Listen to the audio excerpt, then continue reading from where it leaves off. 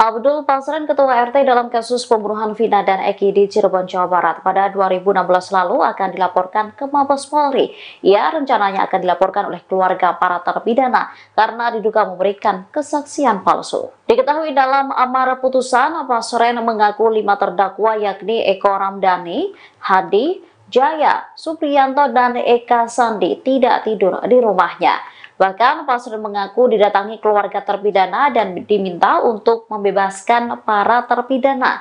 Namun keterangan tersebut berbeda dengan keterangan keluarga terpidana yang saat itu bertemu dengan politisi Dedi Mulyadi.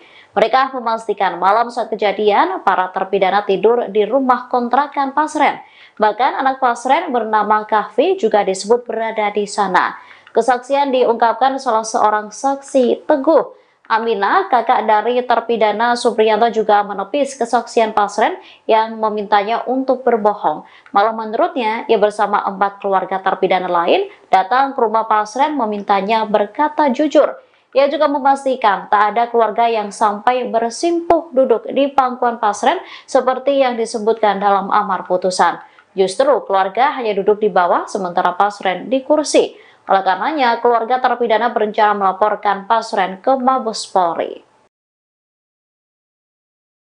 Hasanah, ayah terdakwa Hadi Saputra mengaku dicecar sejumlah pertanyaan penyidik yang berbau tudingan kepadanya. Hal itu dia alami ketika dia diperiksa oleh penyidik di Treskrimum Polda Jawa Barat pada 19 Juni 2024 kemarin. Meski begitu, Hasanah tidak ciut maupun gentar untuk menjawab jujur terkait kejadian kasus Vina tahun 2016 silam itu. Hasanah mengaku mendapat beberapa tuduhan. Tuduhan ini datang diduga dari keterangan RT Abdul Pasren yang kini menjadi sorotan karena dibantah banyak saksi lain. Tuduhan ya dia maksud ini antara lain tudingan upaya rekayasa agar putranya bebas dari jeratan hukum kasus pembunuhan Vina dan Eki. Dalam tudingan itu, diceritakan Hasanah sedang berjalan bersama Madkana, kakaknya terdakwa Jaya. Kemudian mereka berpapasan dengan Kahfi, anak Pak RT Abdul Pasren. Di hadapan penyidik Polda Jabar dia membantah tudingan itu. Dia mengaku tak merasa pernah bertemu dengan Kahfi dan ngobrol soal kasus yang menjerat anaknya. Justru sebaliknya, Hasanah sudah tak pernah menyapa Kahfi lagi setelah kasus Vina Cirebon menjerat putranya itu. Karena dia yakin bahwa keterangan RT Abdul Pasren dan anaknya merupakan kesaksian palsu yang membuat anaknya terjerat. Saat membicarakan kafi ini, Hasanah tak mampu menahan luapan ekspresi wajah emosinya. Tuduhan kedua yang didapat Hasanah adalah soal amplop berisi uang kepada saksi RT Pasren dengan harapan anaknya bebas dari jeratan hukum. Hal itu pun juga dibantah Hasanah, karena dia tak merasa melakukan itu. Hasanah mengaku siap dan tidak takut jika ke depan kesaksiannya ini dikonfrontir.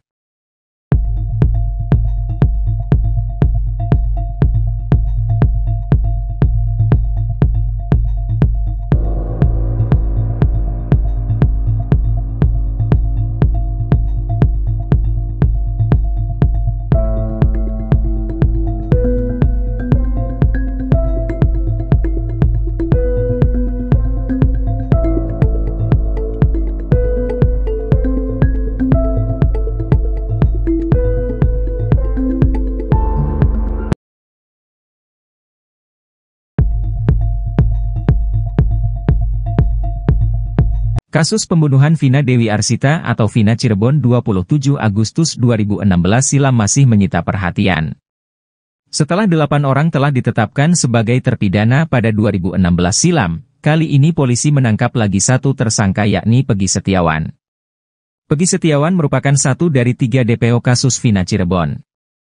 Kini, terungkap bagaimana strategi polisi yang membuat delapan terpidana kasus Vina Cirebon itu mau mengakui perbuatannya. Ternyata awal mula para pelaku kasus Vina Cirebon yang terjadi 2016 silam terbongkar setelah adu domba yang dilakukan penyidik.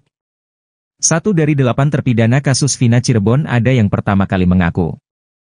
Akibatnya setelah diadu domba oleh penyidik tersebut, Sudirman jadi bulan-bulanan teman-temannya. Hal itu lantaran Sudirman lah orang yang pertama kali mengaku membunuh Vina dan Eki pada 2016 lalu tersebut. Padahal menurut ayahnya, Sudirman adalah anak berkebutuhan khusus. Bahkan di kampungnya, Sudirman memang dikenal memiliki keterbelakangan mental. Menurut ex-napi kasus Vina, Saka Tatal, terpidana yang pertama kali mengaku adalah Sudirman dan Jaya. Saka Tatal menuturkan, saat itu mereka diperiksa secara terpisah dengan Sudirman dan Jaya.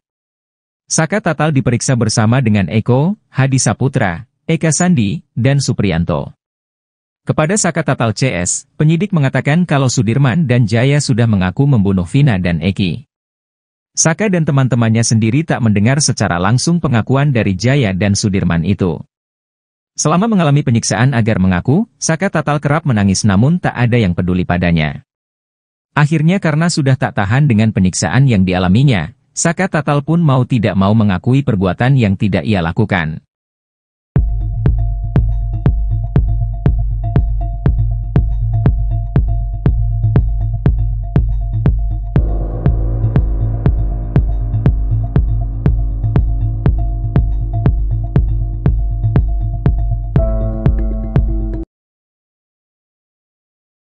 Baru terkuak, ternyata status romantis Pegi Setiawan di Facebook bukan ditujukan untuk almarhumah Vina Cirebon.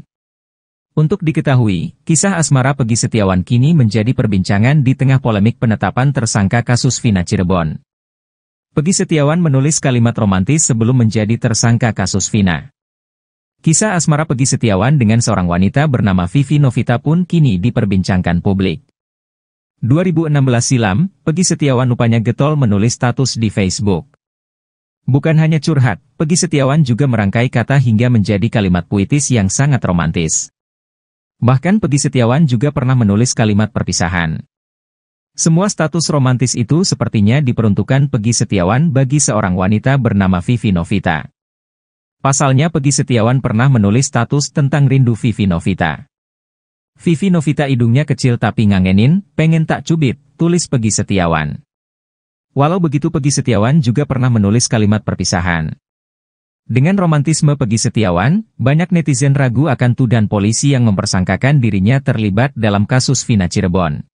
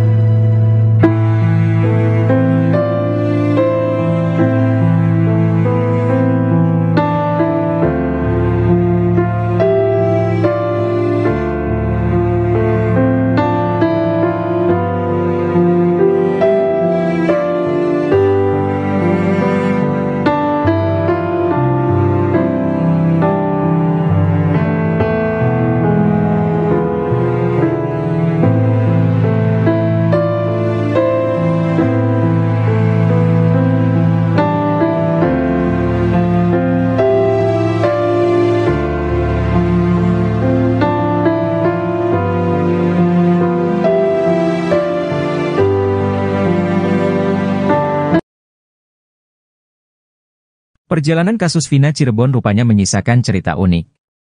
Tersangka kasus pembunuhan Vina dan Eki, Pegi Setiawan kini seperti artis terkenal. Bahkan, wajah sang DPO kasus Vina yang sempat diburu selama 8 tahun itu kini dijadikan baju seragam.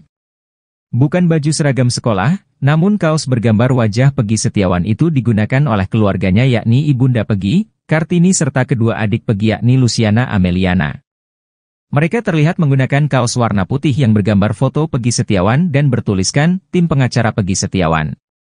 Selain bergambar tersangka Pegi Setiawan, pada bagian bawah kaos putih itu juga tertulis tagar, bebaskan Pegi Setiawan. Tidak hanya itu, seluruh kuasa hukum Pegi Setiawan juga membagikan stiker bergambar Pegi Setiawan. Hal ini cukup menarik perhatian publik.